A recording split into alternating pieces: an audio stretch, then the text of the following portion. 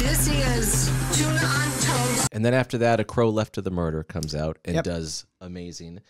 Light Grenades after that, which debuts at number one. You guys are just rolling like crazy. Are you having fun at that time? Do you recall, like, holy crap, this is actually really fun? I mean, there, there, it was really fun.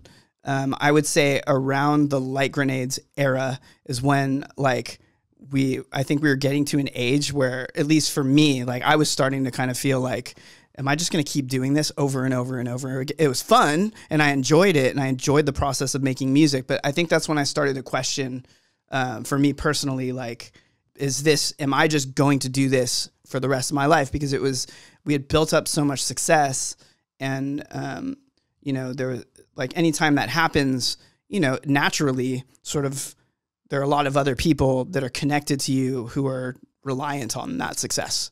And so I started to feel, I think a little bit during that time, like, is this what I want to do in this manner? Like it's this huge thing where like we focus all this time and energy and we like make this album and then it comes out and then we tour behind it for years and like we're never at home. I'm not complaining about it Right. in any way, but there yeah, are yeah, certain yeah. aspects of it that over a long period of time started like wondering like okay what's my life going to be like in the much longer term?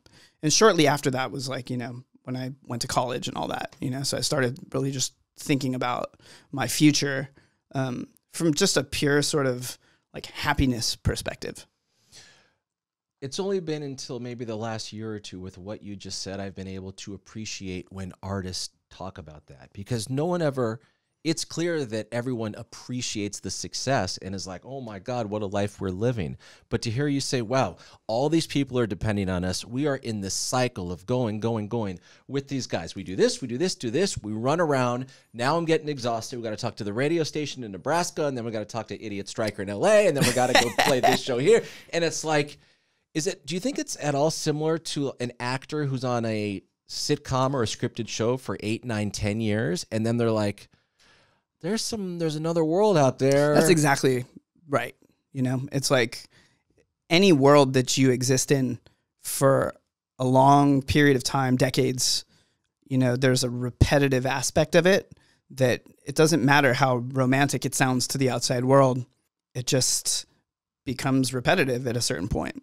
And that has nothing to do with, you know, I've, I've always been appreciative of the success and the opportunity, but sure. at the same time, I've always considered myself sort of a lifetime, you know, band member. Like it's something that I'll do for as long as I can in my whole life. But in order for me to be able to do that, I also have to be able to to um, feel fulfilled in other ways. and I think that get that's that. I get that. yeah, I think that's something that the whole band really like understands at this point. Hope you enjoyed. Now hit that subscribe button, and for more Tuna on Toast, listen wherever you get your podcasts.